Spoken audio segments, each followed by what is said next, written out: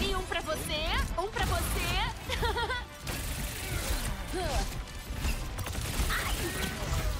Eu tomo.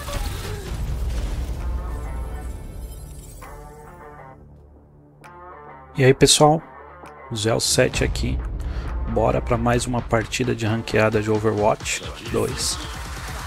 É, bom, gostaria de agradecer aí mais uma partida aí da semana dos 100 inscritos e tudo de bom, bora pra, pra cima.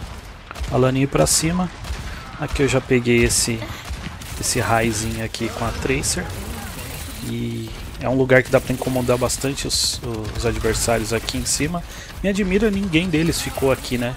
Eles tinham uma Ashe aqui, ó. A Ashe poderia ter subido aqui para ter atrapalhado. Eu tentei ali subir ali em cima da plataforma da, da flor ali do, do Florzinha, mas não deu muito certo, não. Chamo de Florzinha, mas é Life Weaver, tá, gente? Aqui acaba ficando mais fácil, né? Tem alguns nomes aí que nem a Moira eu costumo chamar de Monodedo.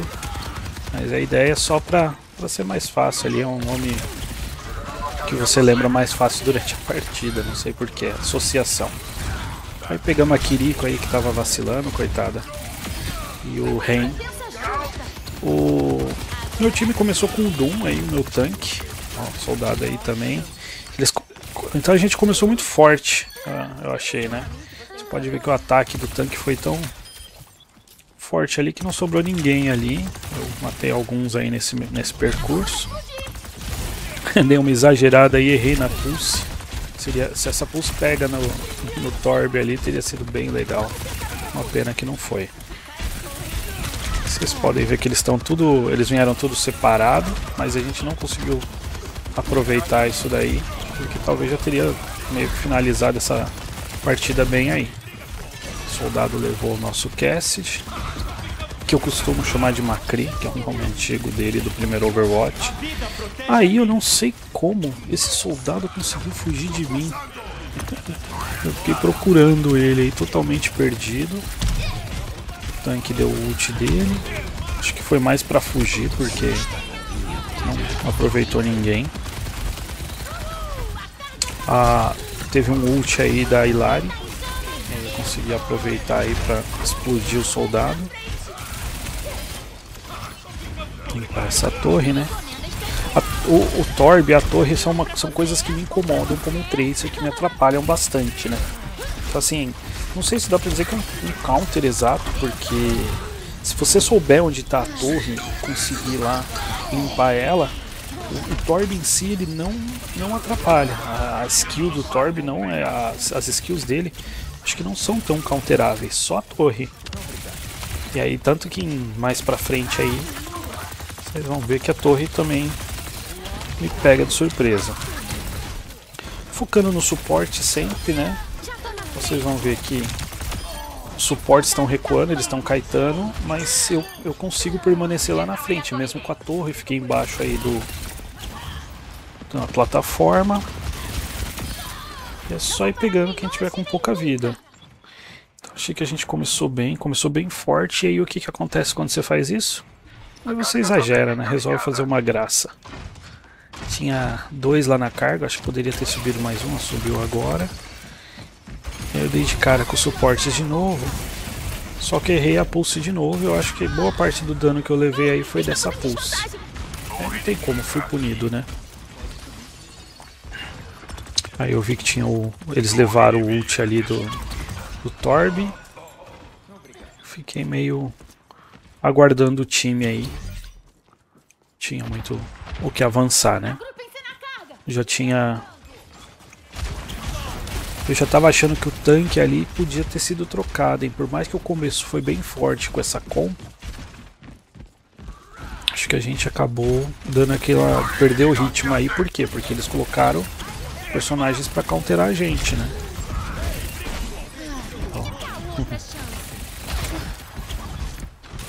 Aí eu escutei o tiro da Ashe de novo, fui pra cima dela.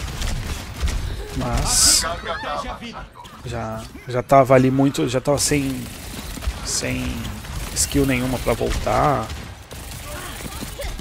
E a minha função é tentar parar a Ashe, a minha função não, minha intenção, né? Tentar parar a Ashe e parar os suportes, mas se eu puder eu aproveito parando o Ren, que ele é bem frágil.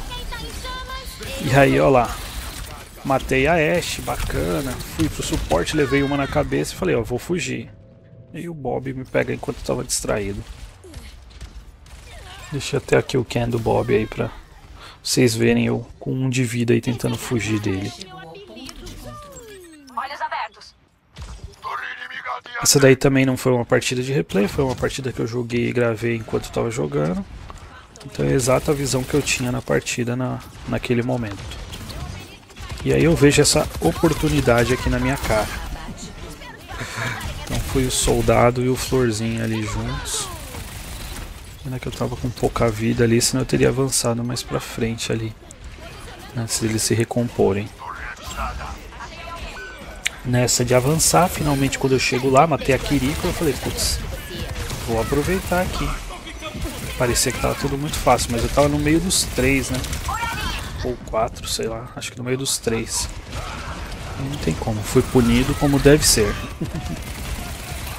aqui o rei. Consegui desviar.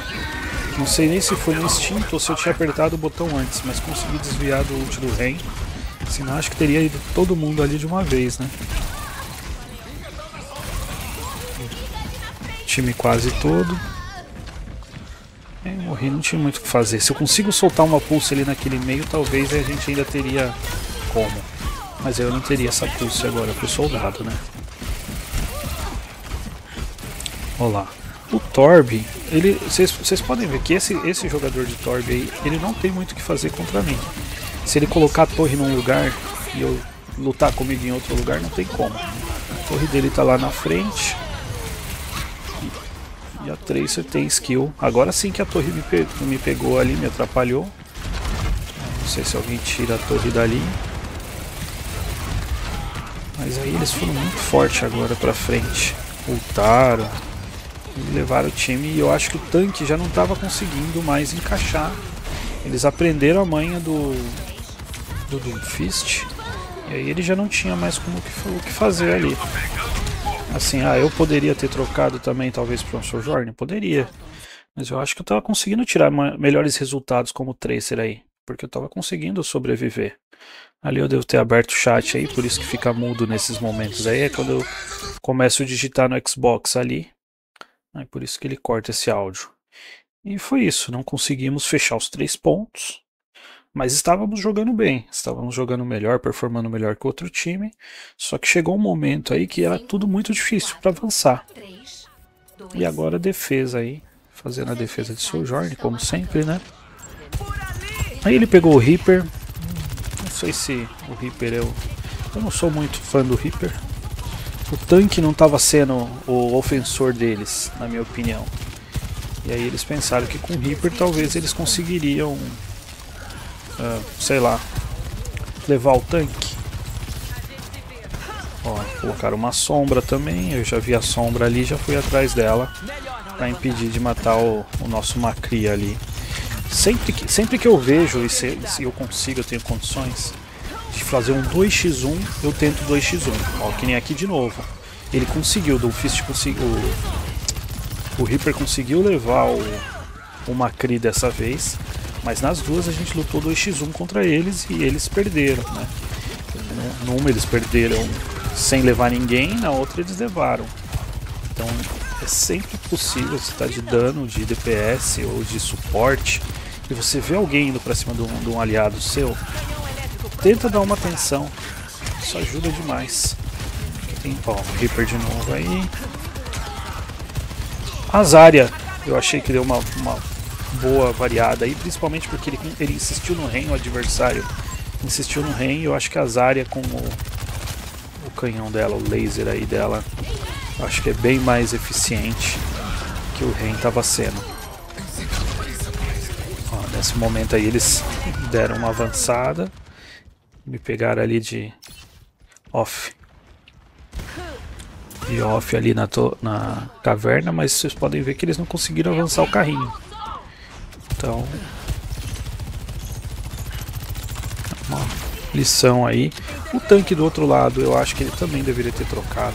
Ele insistiu muito no Ren. O nosso fez insistência ali no começo e o Ren passou a funcionar, mas depois ele não funcionou mais aí quando ele colocou as áreas. Ele acertou o ult agora, o soldado está ultado. A minha prioridade é tirar o soldado. Eu acho até que o ult do soldado deve ter acabado nesse meio tempo. Mas ele não conseguiu converter tão bem esse ult. Focar nos suportes. Tirou os suportes mesmo. Dificilmente eles vão conseguir fazer alguma coisa. Suporte é sempre o alvo mais desejado, como eu costumo dizer aí. Por mais que um DPS tenha um dano massivo, consiga tirar alguém da partida com alguma skill.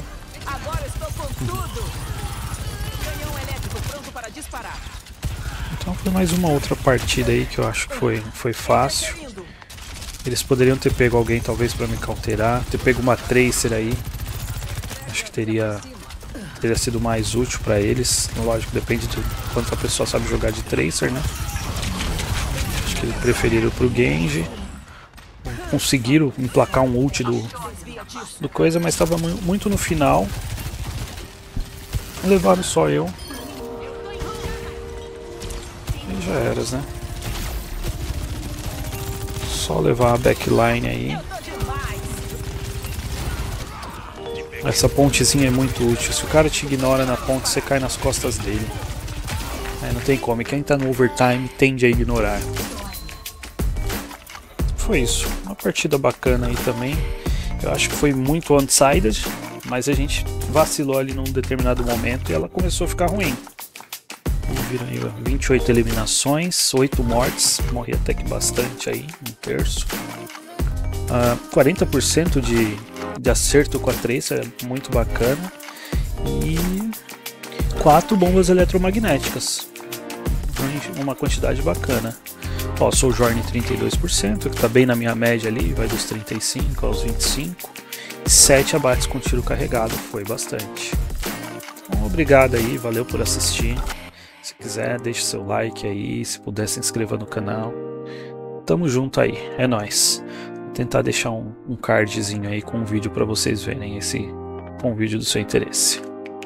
Falou, até mais.